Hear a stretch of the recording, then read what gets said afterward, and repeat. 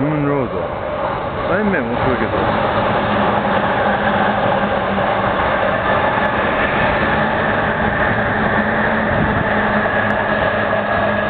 まあ現在はこんな感じで。おー。まあ昔の雰囲気の一部が残ってるっていう感じですね。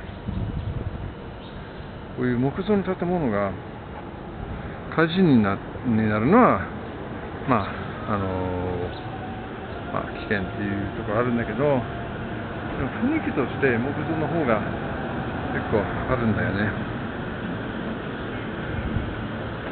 そう言いながら私もアパートをもし選べるんだったらやっぱりあの古い燃や燃やなんだろう火事になりやすいところが ちょっと怖いよね。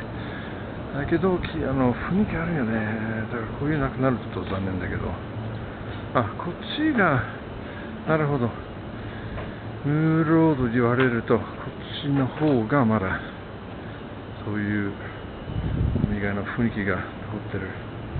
このこれは何を作るんでしょうね。あとはマンションとかオフィスビルとか。えー。こういうモダンなで書いててももちろんいいんですけどその、まあ、一部が古いの場所があるとコントラストあるだからこそモダンなことがモダンらしく古いものもちょっとタイムスリップもできる。全てモダンになるとある意味でつまないけどね。あそうかこのムーンロードが3つの道ですね。